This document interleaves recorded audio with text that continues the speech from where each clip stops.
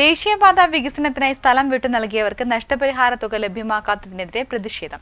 നഷ്ടപരിഹാരം ഉടൻ ലഭ്യമാക്കണമെന്ന് തളിപ്പറമ്പ് ബ്ലോക്ക് കോൺഗ്രസ് കമ്മിറ്റിയുടെ നേതൃത്വത്തിൽ താലൂക്ക് ഓഫീസിന് മുന്നിൽ ധർണ നടത്തി.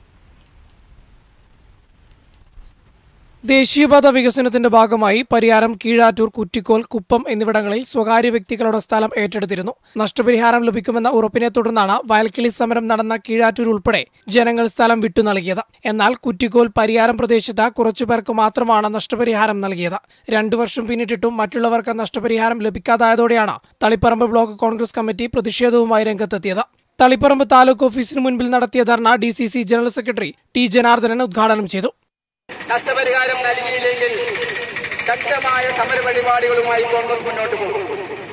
നമുക്കറിയാം ഇത് ഗവൺമെന്റ് സൗജന്യമായി നൽകുന്ന ഒരു ധനസഹായമല്ല.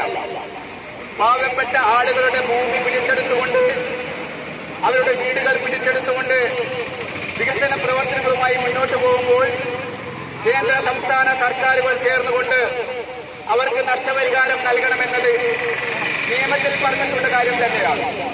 എന്നാൽ ആ നഷ്ടപരിഹാരം നൽകുന്നതിനാവശ്യമായ നടപടികൾ സംസ്ഥാന ഗവൺമെന്റ് സ്വീകരിക്കാതെ മുന്നോട്ട് പോവുകയാണ്. Block Congress president M V Raveendran അധ്യക്ഷനായി മഹിളാ കോൺഗ്രസ് ജില്ലാ president Rajani Ramananda D C C general secretary E T Rajeevan P K Saraswathi Noushad Blathur തുടങ്ങിയവർ സംസാരിച്ചു. തളിപ്പറമ്പ് കോൺഗ്രസ് മന്ദിരം കേന്ദ്രീകരിച്ച് പ്രകടനവും നടന്നു. മണ്ഡലം പ്രസിഡന്റുമാരായ P V Sajeevan P Krishnan C Narayanan തുടങ്ങിയവർ നേതൃത്വം നൽകി. ഉടൻ നഷ്ടപരിഹാരം നൽകണമെന്നാവശ്യപ്പെട്ട് കോൺഗ്രസ് നേതാക്കൾ സബ് കളക്ടർ എസ് ഇലക്കിയെ കണ്ട നിവേദനവും നൽകി. News bureau Taliparamba.